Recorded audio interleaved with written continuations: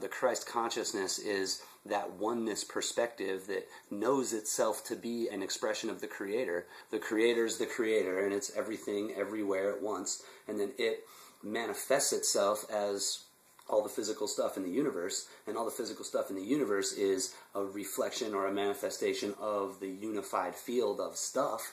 The God force creating the unified field of stuff, expressing itself as the unified field of stuff, and that unified field that makes the stuff is the Christ consciousness. And so that is what is animating our bodies and giving rise to everything that we experience in our world.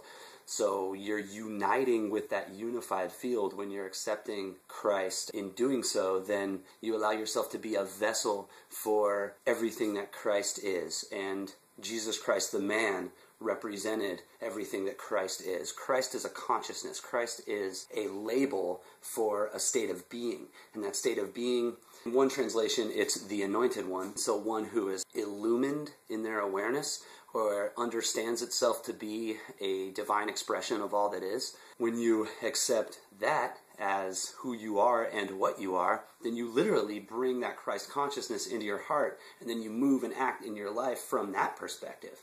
And so, if you're going to be saved from anything, it's from the fear and doubt of living in separation and the anxiety that comes with having to defend yourself from potential threats out there in the world. You unite yourself with your Christ consciousness, your divine self, and then those things are no longer an issue because you are the divine stuff. And so, there is no such thing as death because you are eternal life. Like your inherent nature is the force that animates life. Death just isn't a part of that experience. The main thing is just becoming aware that your consciousness is God's consciousness and then acting accordingly. And what does that mean for you? And the implications of that you can study for a lifetime and explore all the ways in which you can express that in your life.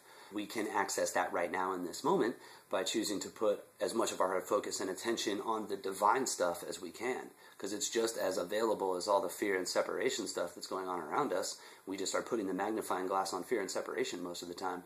When the divine stuff is there, right next to it, waiting for the magnifying glass to be put on it, and waiting for the divine stuff to be what is called forth in our consciousness and in our hearts and our thoughts and our feelings and our reactions to our world and in our conversations and in our belief systems and just the way that we carry ourselves in our life we're all invited to express that. And Jesus' message for humanity when he was walking the earth was, All of this that I do, so shall you, and so much more. So whatever you do, do as I do.